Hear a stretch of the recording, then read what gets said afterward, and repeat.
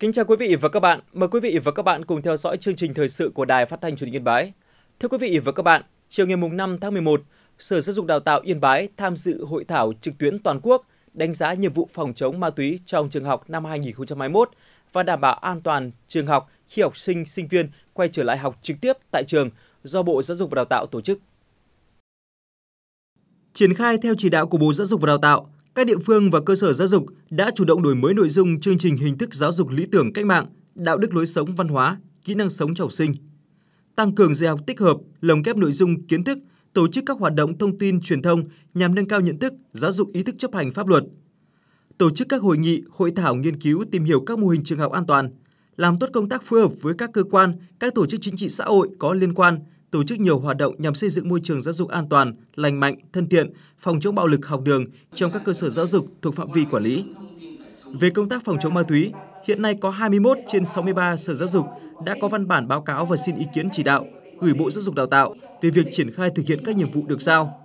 12 trên 63 tỉnh thành đã phê duyệt và ban hành kế hoạch thực hiện. Kết luận hội thảo trực tuyến, lãnh đạo Bộ Giáo dục và Đào tạo đã ghi nhận những kết quả của Sở Giáo dục Đào tạo các địa phương trong việc triển khai thực hiện công tác phòng chống ma túy, bạo lực học đường, phòng chống cháy nổ, phòng chống ngộ độc thực phẩm cho học sinh, đảm bảo an toàn phòng chống dịch COVID-19 cho học sinh khi đi học trực tiếp. Đồng thời yêu cầu các sở giáo dục cần tiếp tục triển khai có hiệu quả các biện pháp đảm bảo an toàn trường học, phối hợp với ngành y tế chủ động xây dựng các kịch bản, giải pháp ứng phó với mọi tình huống dịch COVID-19 triển khai dự án tăng cường năng lực phòng chống ma túy trong trường học đến năm 2025 sau khi Bộ Giáo dục Đào tạo phê duyệt. Ngày 5 tháng 11, Cục Chính trị Quân chủng Hải quân phối hợp với Ban tuyên giáo tỉnh ủy Yên Bái tổ chức hãnh thành và bàn giao hai ngôi nhà tình nghĩa, trao tặng hai hộ gia đình có hoàn cảnh đặc biệt khó khăn tại xã Nậm Khắt, huyện Mù Căng Chải. Hai hộ nghèo có hoàn cảnh đặc biệt khó khăn được hỗ trợ làm nhà là gia đình anh Thảo A Sơn và Thảo A Áng ở bản Hua Khắt, xã Nậm Khắt, huyện Mù Căng Chải. Trong năm 2021, mặc dù chịu ảnh hưởng của dịch COVID-19, nhưng Cục Chính trị Quân chủng Hải quân đã phối hợp cùng Ban tuyên giáo tỉnh ủy và chính quyền xã Nậm Khắt triển khai xây dựng hai ngôi nhà với diện tích mỗi nhà từ 60 đến 80 m2 trao tặng các hộ nghèo có giá trị từ 100 đến 120 triệu đồng. Trong đó, Cục Chính trị Quân chủng Hải quân hỗ trợ mỗi hộ 40 triệu đồng. Việc hoàn thành và bàn giao nhà cho hai hộ nghèo huyện Mù Căng Trải là hoạt động thiết thực ý nghĩa của cán bộ chiến sĩ Cục Chính trị Hải quân nhằm chia sẻ khó khăn với các gia đình nghèo ở huyện vùng cao Mù Căng Trải. Hoạt động này cũng nhằm cụ thể hóa chương trình ký kết phối hợp tuyên truyền biển đảo giữa Cục Chính trị Quân chủng Hải quân với Ban tuyên giáo tỉnh ủy Yên Bái. Nhân dịp này, Đài Phát thanh Truyền hình Yên Bái phối hợp với doanh nghiệp Ngọc Hân, thành phố Hà Nội tổ chức chương trình trao sinh kế hỗ trợ các hộ nghèo xã Nậm Khắt, huyện Mù Căng Chải. Đây là địa phương được tỉnh ủy phân công Đài Phát thanh Truyền hình Yên Bái phụ trách giúp đỡ. Là xã đặc biệt khó khăn thuộc chương trình 30A của chính phủ, 95% dân số là đồng bào Mông. Những năm qua được sự quan tâm đầu tư của nhà nước, xã Nậm Khắt, huyện Mù Căng Chải đã có nhiều đổi thay và đang phấn đấu trở thành xã nông thôn mới đầu tiên của huyện Mù Căng Chải. Tuy nhiên do nằm xa trung tâm huyện, điều kiện tự nhiên khí hậu không thuận lợi nên đời sống một bộ phận người dân còn gặp nhiều khó khăn. Tỷ lệ hộ nghèo của xã hiện chiếm trên 11%. Để hỗ trợ các hộ đồng bào còn khó khăn vươn lên trong cuộc sống, Đài Phát thanh Truyền hình Yên Bái đã phối hợp với xã Nậm Khắt khảo sát và hỗ trợ bằng những việc làm cụ thể thiết thực thông qua sự chung tay của cán bộ, viên chức cơ quan và các nhà hảo tâm. Trong dịp này, Đài Phát thanh Truyền hình Yên Bái phối hợp với doanh nghiệp Cộng Hân thành phố Hà Nội trao tặng 10 hộ nghèo của xã, mỗi hộ hai con lợn giống. Đây là giống lợn đen bản địa đã thích nghi với điều kiện tự nhiên của địa phương, tạo thuận lợi cho bà con khi chăm sóc. Cũng nhân dịp này, Đài Phát thanh Truyền hình Yên Bái cùng nhà tài trợ đã trao tặng 25 chiếc chăn ấm cho 25 hộ nghèo, hộ có hoàn cảnh đặc biệt khó khăn của xã Nậm Khắt. Trao sinh kế, tặng quà, tổ chức hoạt động hỗ trợ cho các hộ gia đình có hoàn cảnh khó khăn là hoạt động thường xuyên của Đài Phát thanh Truyền hình Yên Bái trong nhiều năm qua. Qua đó có phần tích cực thực hiện chương trình an sinh xã hội cho đồng bào vùng cao. Trước đó vào dịp khai giảng năm học 2021-2022, Đài Phát thanh Truyền hình Yên Bái cùng các nhà hảo tâm đã tặng quà cho hơn 100 học sinh có hoàn cảnh khó khăn của xã Nậm Khắt để động viên các em phấn đấu vươn lên trong học tập.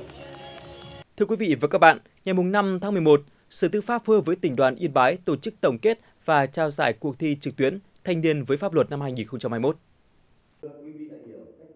Sau một tháng triển khai, cuộc thi trực tuyến Thanh niên với pháp luật năm 2021 đã thu hút gần 11.000 người tham gia và trên 50.000 lượt truy cập vào website cuộc thi. Qua cuộc thi giúp các đoàn viên thanh niên nâng cao nhận thức, ý thức tuân thủ pháp luật nói chung, pháp luật về an toàn giao thông, phòng chống ma túy, hôn nhân, gia đình nói riêng.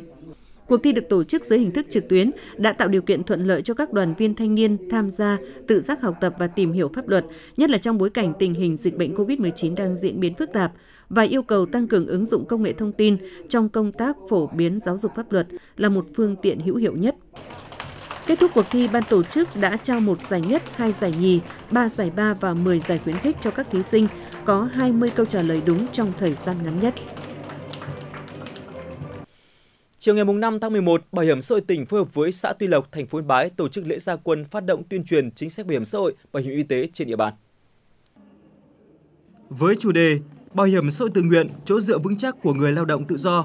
mục tiêu của đợt gia quân nhằm tuyên truyền vận động trực tiếp lao động tự do tham gia bảo hiểm xã hội tự nguyện, bảo hiểm y tế hộ gia đình để có lương hưu khi về già và được chăm sóc sức khỏe. Hoạt động này nhằm tăng cường sự phối hợp giữa cơ quan bảo hiểm xã hội và các cấp ủy chính quyền trong vận động người lao động tự do tham gia bảo hiểm xã hội, góp phần hoàn thành mục tiêu phát triển số người tham gia bảo hiểm xã hội tự nguyện trong năm 2021. Sau lễ phát động, cán bộ đoàn viên thanh niên bảo hiểm xã hội tỉnh và xã Tuy Lộc gia quân tuyên truyền lưu động trên các tuyến đường trục chính của xã, đồng thời chia thành các nhóm nhỏ đến các gia đình, khu dân cư, cơ sở kinh doanh, địa điểm công cộng, tư vấn cho người dân về lợi ích của chính sách bảo hiểm xã hội tự nguyện, bảo hiểm y tế hộ gia đình. Kết quả trong ngày gia quân đã có trên 40 người tham gia bảo hiểm xã hội, trong đó có 20 người tham gia bảo hiểm xã hội tự nguyện và 22 người tham gia bảo hiểm y tế hộ gia đình.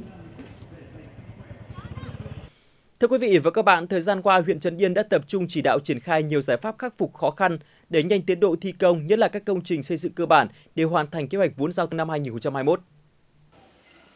Những ngày này, đơn vị thi công công trình trường mầm non Quy Mông, xã Quy Mông, huyện Trấn Yên đang tích cực tập trung hoàn thành các hạng mục còn lại để bàn giao đưa vào sử dụng,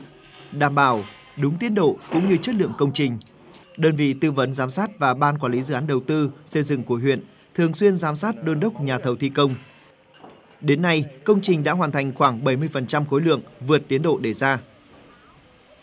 Để đảm bảo trước khi vào thi công của công trình trường mầm non xã Quy Bông này thì đơn vị nhà thầu đã chuẩn bị thứ nhất là về nhân lực, thứ hai về phương tiện, về máy móc, về con người để đảm bảo công trình làm sao là đảm được cái tiến độ. Công trình đã đi vào thi công được 5 tháng rồi.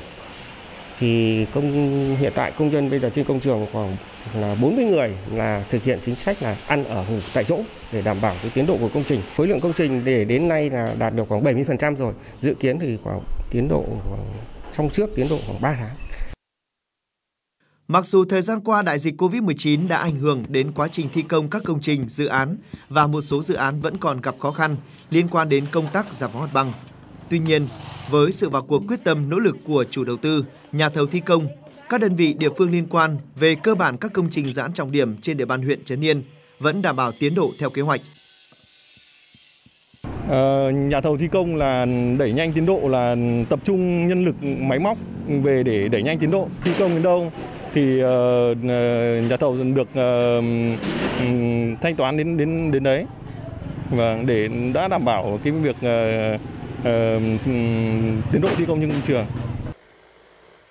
Năm 2021, Ban Quản lý Dự án Đầu tư xây dựng huyện Trấn Yên được giao làm chủ đầu tư 49 công trình xây dựng, gồm 12 công trình chuyển tiếp và 37 công trình khởi công mới, với tổng mức đầu tư trên 412 tỷ đồng.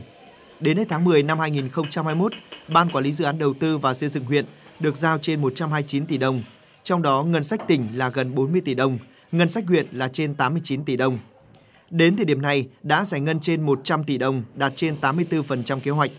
Các công trình cơ bản đảm bảo tiến độ đề ra. Trong thời gian tới, Ban Quản lý Dự án Đầu tư xây dựng huyện Trấn Yên tiếp tục phối hợp chặt chẽ với các đơn vị địa phương, đẩy mạnh tuyên truyền, vận động tháo gỡ khó khăn, hoàn thành việc giải phóng mặt bằng để bàn giao cho nhà thầu triển khai thi công các công trình, tăng cường giám sát đôn đốc các nhà thầu tranh thủ thời tiết thuận lợi, bố trí đầy đủ phương tiện, máy móc thiết bị, nhân công, tổ chức tăng ca, tăng kíp để đảm bảo tiến độ theo hợp đồng, thường xuyên cử cán bộ có mặt tại công trường để phối hợp với đơn vị giám sát, kiểm soát chặt chẽ quy trình, chất lượng để sớm hoàn thành đưa công trình dự án vào sử dụng, đảm bảo hiệu quả nguồn vốn đầu tư.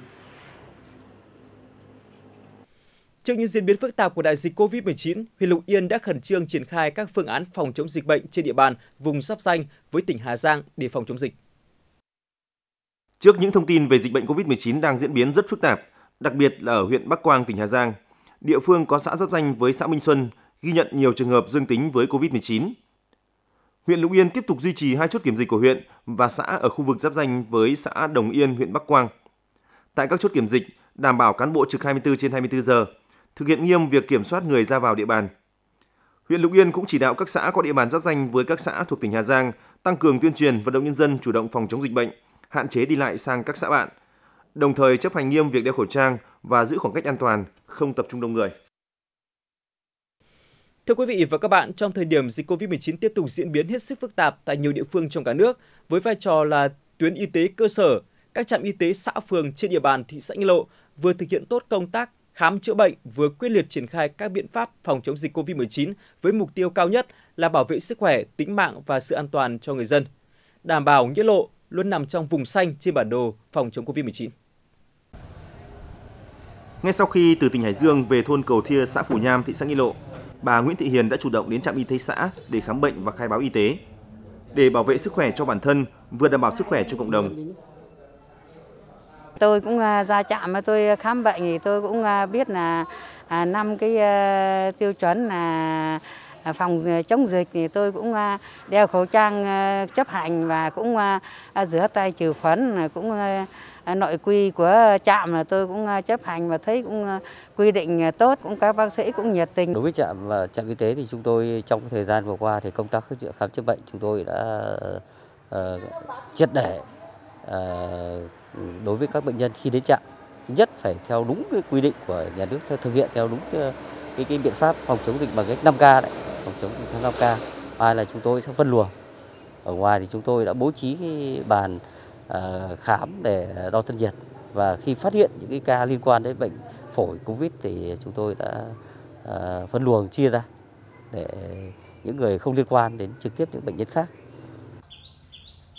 Hôm nay, chị Cầm Thị Long, thôn Viềng Công, xã Anh Sơn, thị xã Nghi Lộ đã đưa con trai hơn 2 tuổi đi khám bệnh tại trạm y tế xã Anh Sơn. Khi đến trạm y tế xã, chị Long đã được đội ngũ y bác sĩ của trạm hướng dẫn khai báo y tế, đo thân nhiệt, sát khuẩn tay, đeo khẩu trang, giữ khoảng cách và được khai thác thông tin tiền sử bệnh lý, dịch tễ và khám bệnh. Chị Long rất yên tâm về công tác phòng chống dịch COVID-19 của trạm y tế xã Anh Sơn. Hôm nay à, con nhà em bị ốm, em mang cháu đến đây để khám thì em thấy công tác à, phòng chống Covid ở trạm y tế xã em là rất là tốt ạ. Trước khi đi vào khám thì tất cả các bệnh nhân đến khám phải đeo khẩu trang này,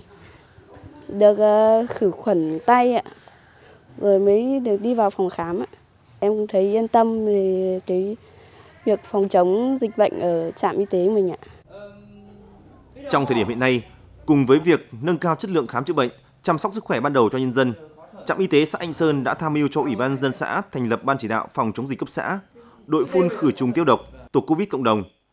Đội ngũ y bác sĩ của trạm y tế luôn sẵn sàng phòng chống dịch Covid-19. Trong quá trình khám bệnh, nếu phát hiện người dân nào có các yếu tố nguy cơ, trạm sẽ thực hiện các biện pháp phân luồng và cách ly theo quy định. Đặc biệt trong đợt tiêm vaccine COVID-19 đợt 2, trạm y tế xã Hạnh Sơn và các trạm y tế cơ sở trên địa bàn đã bố trí đội ngũ y bác sĩ, trang thiết bị y tế đầy đủ ở các điểm tiêm chủng, đảm bảo đúng số lượng đối tượng được tiêm. Trong cái thời gian dịch bệnh Covid diễn biến rất là phức tạp thì ờ, trạm y tế cũng đã triển khai các cái biện pháp phòng chống dịch Covid ờ, bằng các biện pháp tuyên truyền đến người dân ở tại các thôn bản. Ờ, thì gồm có đội ngũ y tế bản thì cũng đã tuyên truyền. Và đặc biệt là khi người dân về trạm y tế thì cũng đã có ý thức ờ, phòng chống bệnh Covid bằng cách là đeo khẩu trang, thực hiện các biện pháp 5K, đeo khẩu trang, về phía trạm đây có cái dung dịch sát khuẩn tay thì người ta cũng đều là sát khuẩn tay. Ờ, khi khám thì người ta người dân là đến không tụ tập đông đến giải rác Ờ, giãn cách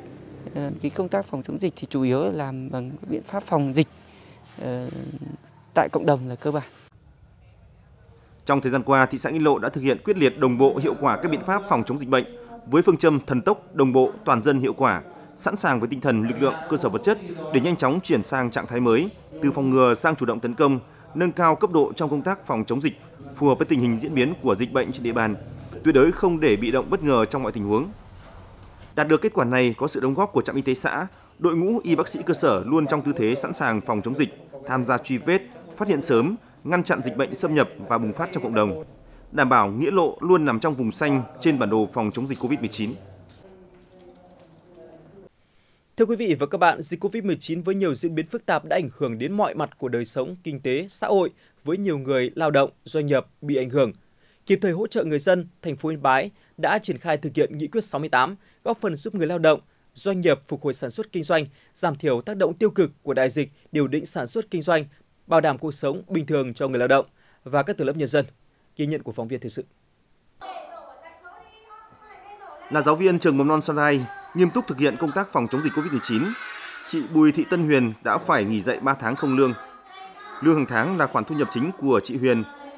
nên việc phải tạm nghỉ để phòng dịch khiến gia đình chị gặp nhiều khó khăn trong chi tiêu sinh hoạt. Do vậy, được nhận hỗ trợ 3 triệu đồng theo chương trình của Nghị quyết 68, chị Huyền đã yên tâm giảng dạy. Chúng tôi cũng đã được sự quan tâm của các cấp, uh, cũng có, có những gói hỗ trợ dành cho giáo viên và uh, chúng tôi cũng được nhận đầy đủ các cái gói hỗ trợ đấy. Mặc dù là uh, cái số tiền hỗ trợ nó không nhiều, nó không thể bằng cái đồng lương chúng tôi đi làm hàng ngày, nhưng mà nó cũng góp phần vào trang trải cuộc sống và đấy cũng là sự quan tâm dù là ít nhưng mà cũng là sự quan tâm của các cấp lãnh đạo tới đời sống của giáo viên chúng tôi và như vậy thì chúng tôi cũng cảm thấy rất là vui và yên tâm khi mà cố gắng để theo đuổi cái sự nghiệp giáo dục này ạ. Trường Mầm non Sunrise hiện có 24 cán bộ giáo viên. Do là trường tư thục nên trường tạm nghỉ để phòng chống dịch Covid-19 thì các giáo viên cũng đồng nghĩa là không có lương. Do vậy, việc kịp thời triển khai chính sách hỗ trợ cho người lao động và đơn vị lao động theo nghị quyết 68 đã đáp ứng được niềm mong mỏi của cán bộ giáo viên nhà trường, tạo động lực để các cô giáo tiếp tục yên tâm công tác, góp phần nâng cao chất lượng giáo dục. Chúng tôi cũng rất là mừng à, để được à, các cấp các ngành quan tâm. À, chúng tôi hiểu rằng đây là một cái mức hỗ trợ tuy là nhỏ nhưng mà lại có ý nghĩa rất lớn, thể hiện được sự quan tâm lãnh đạo của Đảng và Nhà nước, các cấp lãnh đạo đối với người lao động hiện nay và đối với cả cán bộ giáo viên nhân viên trường mầm non Sa Lai nói riêng. À, chúng tôi hy vọng rằng à, trong thời gian tới này chúng tôi vẫn được tiếp tục nhận được sự quan tâm, chia sẻ, tạo mọi điều kiện để cho đội ngũ chúng tôi yêu nghề à, và yêu trường yêu lớp, giúp cho nhà trường luôn luôn phát triển là một trong những đơn vị chịu ảnh hưởng nặng nề nhất của dịch bệnh COVID-19. Từ cuối tháng 7 đến giữa tháng 10 năm 2021, các xe khách chạy liên tỉnh của công ty cổ phần vận tải thủy bộ Yên Bái đã tạm nghỉ để phòng dịch và thực hiện giãn cách xã hội theo chỉ thị 16 của Thủ tướng Chính phủ. Chính vì thế, nhiều lái xe, phụ xe không có lương. Kịp thời hỗ trợ cho người lao động và người sử dụng lao động, thành phố Yên Bái đã tạo điều kiện để công ty cổ phần vận tải thủy bộ Yên Bái được tiếp cận nguồn vay ưu đãi để trả lương cho người lao động, đồng thời thực hiện đầy đủ các chính sách hỗ trợ theo nghị quyết 68 cho gần 100 lao động của công ty. Thì à, qua cái à, à, đợt hỗ trợ thì công ty đã làm thủ tục cho được hỗ trợ là 99 trường hợp mà công nhân lái xe được hưởng cái chế độ hỗ trợ của chính phủ. Và ngoài ra thì công ty cũng đã có những chính sách giảm cái doanh thu cho các chủ hợp đồng kinh doanh kịp thời hỗ trợ người dân bị ảnh hưởng bởi dịch Covid-19. Đến nay, thành phố Yên Bái đã có gần 21.300 người lao động và người sử dụng lao động được hỗ trợ với tổng số tiền là gần 6,7 tỷ đồng. Trong đó, thành phố Yên Bái đã thực hiện giảm mức đóng bảo hiểm tai nạn lao động, bệnh nghề nghiệp cho gần 640 đơn vị, hỗ trợ người lao động tạm hoãn thực hiện hợp đồng lao động hoặc nghỉ việc không hưởng lương cho trên 120 người lao động. Đồng thời thực hiện hỗ trợ người lao động ngừng việc, người lao động chấm dứt hợp đồng lao động nhưng không đủ điều kiện hưởng trợ cấp thất nghiệp, hỗ trợ viên chức hoạt động nghệ thuật, hướng dẫn viên du lịch hỗ trợ hộ kinh doanh, người sử dụng lao động vay vốn để trả lương ngừng việc, trả lương phục vụ sản xuất và hỗ trợ khẩn cấp các công dân có hộ khẩu thường trú tại tỉnh Yên Bái. Hoàn cảnh đặc biệt khó khăn đang tạm trú tại thành phố Hồ Chí Minh và các tỉnh phía Nam trong thời gian thực hiện giãn cách xã hội do ảnh hưởng của dịch Covid-19. Đến thời điểm này thì thành phố Yên Bái ờ, không có để tồn động bất kỳ một cái hồ sơ nào của người lao động cũng như là người uh, sử dụng lao động và À, đến à, nay thì à, trên địa bàn thành phố thì đã có trên 21.000 người được hưởng thuộc các cái nhóm được hưởng cái chính sách hỗ trợ ờ, với số tiền trên 6,6 tỷ đồng. Tất cả những cái trường hợp mà đủ điều kiện thì chúng tôi khẩn trương hoàn thiện hồ sơ cũng như là trình tỉnh xem xét giải quyết. Sự chủ động tích cực của cấp ủy chính quyền thành phố Yên Bái trong việc triển khai thực hiện nghị quyết 68 của chính phủ về một số chính sách hỗ trợ người lao động và người sử dụng lao động đang gặp khó khăn do đại dịch Covid-19 đã góp phần động viên, tạo động lực để các doanh nghiệp, người lao động tiếp tục vươn lên trong sản xuất kinh doanh, hoàn thành mục tiêu vừa phòng chống dịch Covid-19 vừa phát triển kinh tế xã hội. Thưa quý vị và các bạn, theo kế hoạch số 118 của Ủy ban Nhân dân tỉnh Yên Bái, năm 2021, huyện Văn Chấn có 53 hộ nghèo, hộ có hoàn cảnh đặc biệt khó khăn được hỗ trợ làm nhà ở. Cùng với đó, bằng nguồn vận động sợi hóa của huyện hỗ trợ thêm 28 hộ nghèo, đặc biệt khó khăn xóa nhà tạm, nhà rột nát. Với nhiều giải pháp tích cực, đến nay có hơn 60 ngôi nhà đã hoàn thành và đưa vào sử dụng. Các nhà còn lại đang đẩy nhanh tiến độ thi công dự kiến sẽ hoàn thành trong tháng 11 này. Ngôi nhà khang trang kiên cố này là mơ ước bấy lâu của vợ chồng anh Lò Văn Quán, thôn Nậm Cườm, xã Nậm Búng, huyện Văn Chấn. Bản thân anh Quán đau ốm thường xuyên mất khả năng lao động, cả gia đình sau miệng ăn chỉ trông chờ vào thu nhập của người vợ và con gái lớn,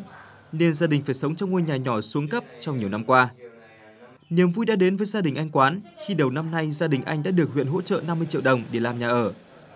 Cùng với sự hỗ trợ, ngày công và vật liệu của anh em trong dòng họ và bà con lối xóm, niềm mái ấm tình nghĩa của gia đình anh Quán đã sớm được hoàn thành. Trước đây thì cũng hoàn cảnh khó khăn thì có các quyền, các chính quyền huyện hỗ trợ làm nhà cho bọn em thì cũng rất là phấn khởi và rất là mong muốn được cái nhà để cho con cái. Mẹ và chợ ở thì bọn em rất phấn khởi rồi thì rất cảm ơn các huyện các cấp các ngành đã giúp đỡ gia đình. Nằm trong chương trình hỗ trợ làm nhà cho hộ nghèo, hộ đặc biệt khó khăn về nhà ở của tỉnh của huyện, xã Nậm Búng có 13 hộ được hỗ trợ là địa phương có số hộ được hỗ trợ làm nhà ở lớn nhất huyện. Do đó, xã đã phân công nhiệm vụ cụ thể cho từng tổ chức hội, phụ trách giúp đỡ các hộ, đồng thời vận động bà con lối xóm giúp đỡ về ngày công xây dựng, san gạt và vật liệu xây dựng. Nhờ đó, hầu hết các hộ làm nhà ở trên địa bàn xã có thêm nguồn lực để các ngôi nhà được xây dựng khang trang hơn. Đến hết tháng 10, 13 ngôi nhà trên địa bàn xã Nậm Búng đã hoàn thành và đưa vào sử dụng theo đúng tiến độ đề ra. Đến thời điểm này thì à, xã đã xây dựng xong và thanh quyết toán 10 10 10 10 nhà. Còn ba nhà thì đến thời điểm này thì uh, bây giờ chúng tôi còn đang hoàn thiện và nắp cửa nữa là đã triển khai xong. Xây dựng được cái nhà thì, thì nhà bà con nhân dân rất phấn khởi. Và từ đó thì bà con yên tâm cũng không lo nghĩ gì về việc phải làm nhà nữa mà chỉ tập trung làm ăn. Không thuộc chương trình làm nhà ở cho hộ nghèo của tỉnh, nhưng gia đình anh Triệu Sinh Tiến, thôn Đồng Quẻ, xã Minh An là một trong 28 hộ được bổ sung làm nhà ở theo nguồn quỹ xã hội hóa của huyện Văn Chấn. Được khởi công từ đầu tháng 10, tranh thủ thời tiết tạnh giáo, những ngày này, Hội cựu chiến binh đã huy động hội viên giúp đỡ gia đình anh Tiến ngày công xây dựng để nhanh chóng hoàn thành ngôi nhà. Có ngôi nhà rồi nhà nước hỗ trợ cho là em rất vui. Làm xong nhà rồi em cố gắng phát triển kinh tế nói chung là dừng đồi Tức là em cố gắng em làm để cuộc, cuộc sống nó tốt tốt hơn, đỡ khó khăn hơn. Thực hiện kế hoạch số 118 của Ủy ban Nhân dân tỉnh Yên Bái, trong năm 2021, trên địa bàn huyện Văn Chấn có 53 hộ nghèo. Hộ có hoàn cảnh đặc biệt khó khăn được hỗ trợ làm nhà ở với mức hỗ trợ 50 triệu đồng để làm mới và 25 triệu đồng để sửa chữa. Cùng với đó, bằng nguồn vận động xã hội hóa của huyện đã có thêm 28 hộ nghèo đặc biệt khó khăn về nhà ở được hỗ trợ. Trong đó có 10 nhà được hỗ trợ 25 triệu đồng từ nguồn xã hội hóa của huyện, 3 hộ người có công được hỗ trợ 40 triệu đồng từ nguồn quỹ đền ơn đáp nghĩa của huyện. 15 hộ còn lại được các sở ban ngành của tỉnh, của huyện, các tổ chức cá nhân, các nhà hảo tâm hỗ trợ. Nhằm giúp các hộ nghèo có thêm nguồn lực, các xã thị trấn đã vận động các tổ chức hội và thôn bản giúp đỡ các hộ về ngày công. Đến nay, có trên 60 hộ đã hoàn thành nhà đưa vào sử dụng. Nhân dân xây dựng nhà thì là sẽ thực hiện đúng theo cái quy định hướng dẫn của cấp trên. Cho nên là không có cái việc sai sót về tiêu chuẩn xảy ra trong cái quá trình xây dựng. Các căn hộ được xây dựng thì đều đảm bảo về kích thước cũng như là cái điều kiện về ba cứng theo đúng hướng dẫn của Sở Xây dựng và Sở Lao động Thương Xã hội. Đây là một cái chính sách rất là nhân văn của tỉnh ta và của huyện trong năm 2021. Với phương châm không ai bị bỏ lại phía sau, những năm qua nhà nước ta đã triển khai rất nhiều chương trình có ý nghĩa giúp hộ nghèo vơi bớt khó khăn, Chương trình hỗ trợ về nhà ở cho hộ nghèo, hộ đặc biệt khó khăn là chương trình có ý nghĩa nhân văn sâu sắc, thể hiện sự quan tâm của Đảng và Nhà nước đối với những hộ yếu thế trong xã hội, giúp các hộ nghèo của Văn Chấn yên tâm phát triển kinh tế, vươn lên thoát nghèo bền vững.